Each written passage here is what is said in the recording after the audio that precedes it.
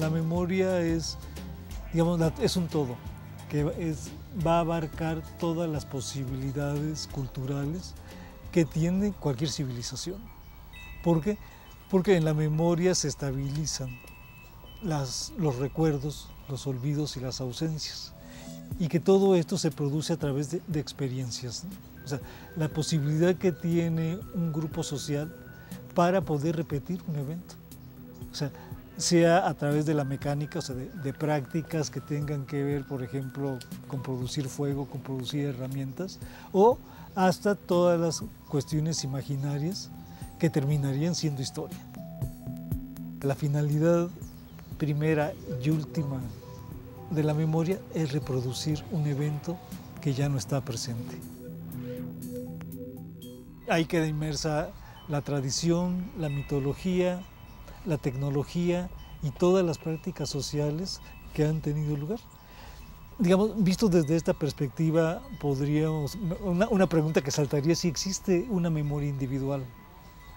evidentemente yo creo que no. La memoria individual nos dura hasta que podemos empezar a pensar desde el nacimiento al, al momento de pensar. Y quién sabe por qué este, todo ser pues, trae una carga genética y hay una memoria genética.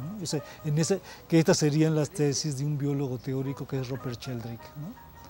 Que él, va a decir que todos venimos ya cargados, o sea, desde que somos concebidos traemos una carga que nos remite a diferentes pasados.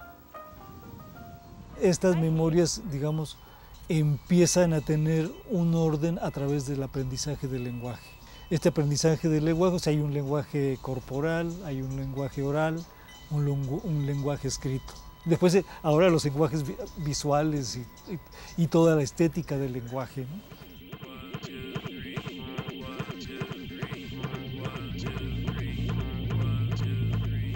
Y que estas relaciones en la construcción de, de una historia de la mente, lo que está posibilitando es este, a nivel cognitivo es la digitalización en la creación de la sintaxis a través del lenguaje.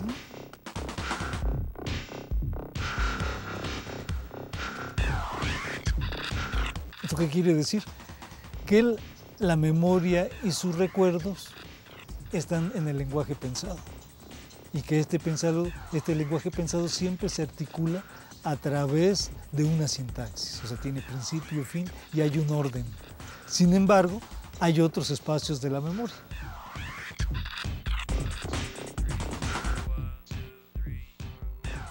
En lo que yo denominaría lo concerniente al olvido. Yo creo que es la parte más importante de la memoria.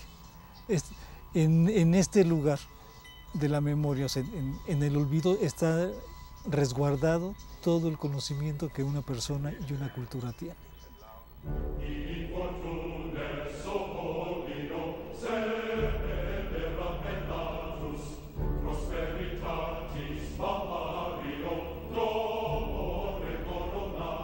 La memoria es colectiva y los estados nacionales, las identidades colectivas, los procesos culturales permanentemente están institucionalizando una versión del pasado.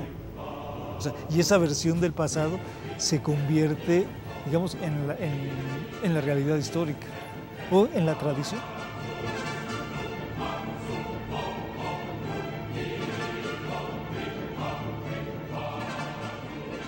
Cuando se piensa ¿no? de que nosotros somos producto de un pasado, institucionalmente pensamos que fue un solo pasado. Pero no, son, hay tantos pasados como posibilidades de existencia de, la vida humana. Y hemos, eh, o sea, las instituciones han ido escogiendo cuál es el perfil que se necesita para que exista ese pasado.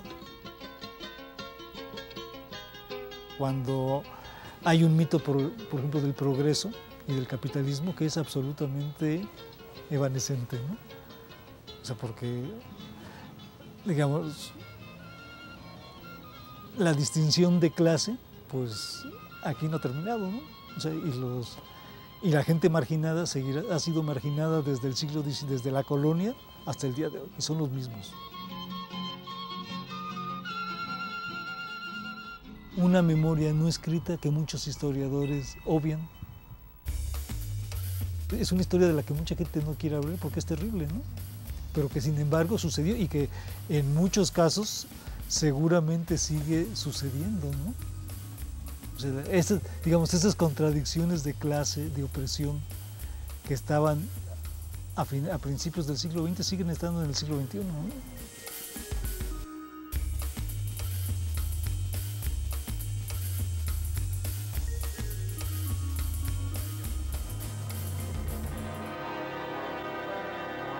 Institucionalmente unas partes se, llevan ni siquiera al olvido, se llevan a la ausencia para justificar las razones de Estado.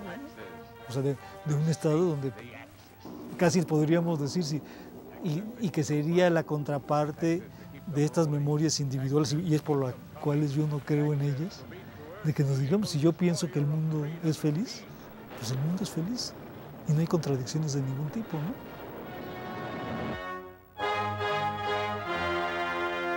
This is our fight.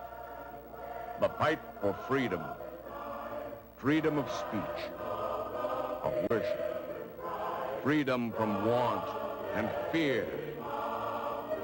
Taxes will keep democracy on the march. Cuando uno piensa en la memoria, entonces ahí está, están los recuerdos. Y por esta parte, pues es la, parte más fácil, porque es lo que sale. Es la parte que marca las sociedades a través de una voz colectiva. Y está digitalizada, o sea, está ordenada sintácticamente para ser enunciada. En esta historia de la memoria y una historia de la mente hay dos campos. Un campo que es el digital, pero hay otro campo que es analógico. Y que este campo digital es el que socializa, pero el campo analógico es, el que individualiza, es el que no sale. Desde una perspectiva ya este, más antropológica, digamos, este mundo analógico, que Nerga Morán, digamos, sería el cogito, es lo que nos permite tener en el ser pues en el ser individual y en el ser social, la confluencia de todos los saberes posibles.